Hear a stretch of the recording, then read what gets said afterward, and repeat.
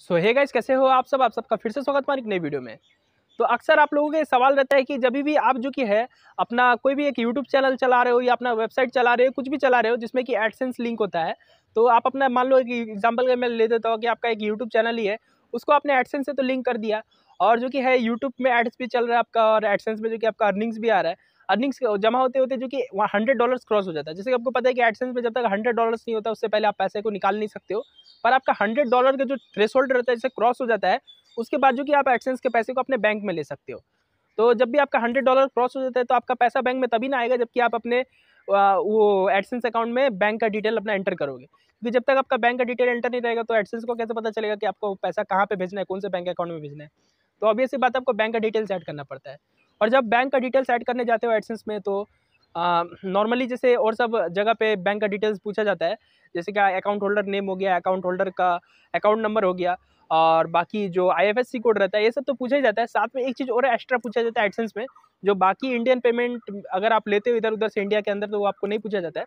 वो तो है swift BIC code swift BIC क्या है? स्विफ्ट जो होता है, एक कोड रहता है, जो कि इंटरनेशनल पेमेंट्स को रिसीव करने के लिए बनाया हुआ है। ये जैसे कि आपको पता ही होगा एडसेंस जो कि इंडिया से बाहर की कंपनी है मतलब गूगल का प्रोडक्ट है इंडिया से बाहर का है। तो पेमेंट भी जो है एडसेंस का वो रिलीज़ होता है इंडिया से बाहर से सिंगापुर से पेमेंट जो है रिलीज़ होता है। तो वहाँ से पेमेंट आता है इंडिया में तो ऐसे तो डायरेक्टली तो आ नहीं जाएगा आपके बैंक में। आपके बैंक का एक स्विफ्ट कोड रहता है, वो डालना पड़ता है एडसेंस में तब जाके जो है आपका बैंक डिटेल ऐड होगा, उसके बाद जो कि है एडसेंस इक्कीस तारीख को उस अकाउंट में जो है पैसा रिलीज़ कर देगा। तो ये जो स्विफ्ट बीआईसी कोड या आप कह दो स्विफ्ट कोड है, ये स्विफ्ट कोड कुछ कुछ बैंक का नहीं भी होता है। ऐसा नहीं है कि सब बैंक का स्विफ्ट कोड है ही कुछ कुछ ऐसे इंडिया में बैंक्स भी है जिसका स्विफ्ट कोड नहीं होता है। तो मान लो आपका भी बैंक उसी उसी कैटेगरी में आता है कि आपके बैंक का स्विफ्ट कोड नहीं है तो आप जो कि है स्विफ्ट कोड कहाँ से लाओगे? सबसे बड़ा दिक्कत ये हो जाता है, बहुत लोगों का ये क्वेश्चन रहता है कि स्विफ्ट कोड भैया कहाँ से लाएगा, स्विफ्ट कोड नहीं है तो। तो देखिए मैं आपको बताना चाहूँगा, पहला बात अगर आपका कोई पेमेंट्स बैंक है, एयरटेल पेमेंट्स बैंक हो गया, पेटीएम पेमेंट्स बैंक हो गया, ऐसा कोई पेमेंट्स बैंक है तो इसमें जो कि है आप पेमेंट रिसीव नहीं कर सकते इंटरनेशनल वाली क्योंकि जैसे कि स्विफ्ट कोड उसमें लगता है तो ये सब बैंक जो पेमेंट्स बैंक रहते हैं, ये छोटे मोटे ट्रांजेक्शन के लिए मतलब कि ये इंडिया में यूज़ करने के लिए बनाया हुआ है। तो इसमें जो कि है आपका इंटरनेशनल से जो पेमेंट है स्विफ्ट बी कोड डाल के, वो नहीं आ पाएगा। तो इसलिए इसमें ट्राई मत करना, कुछ उल्टा पुल्टा हो जाएगा, पैसा वैसा अटक जाएगा का एडसेंस का इसलिए ये सब डिटेल्स उल्टा पुल्टा कुछ डाल कर ट्राई मत करना।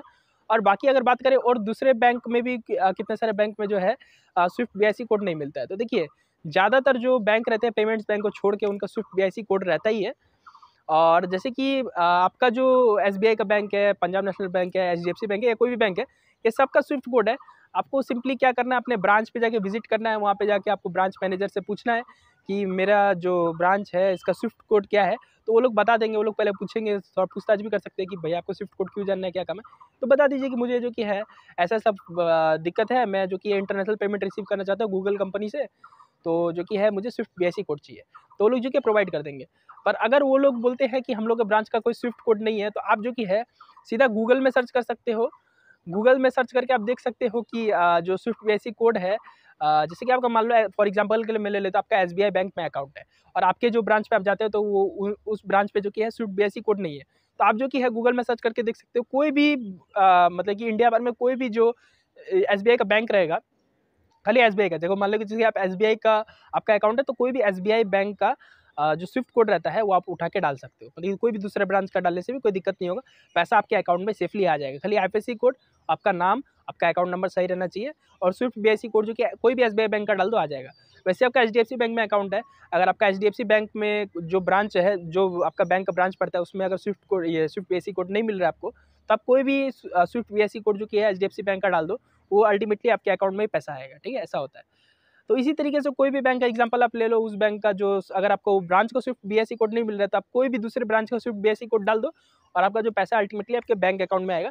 तो बस इतनी सी सिंपल सी वीडियो थी, आपका आई होप ये जो डाउट है या आपका जो क्वेश्चन रहता है क्लियर हो गया होगा। तो आप, आज की वीडियो में बस इतना ही था, मिलते हैं नेक्स्ट वीडियो में, तब तक के लिए बाय बाय और जय हिंद।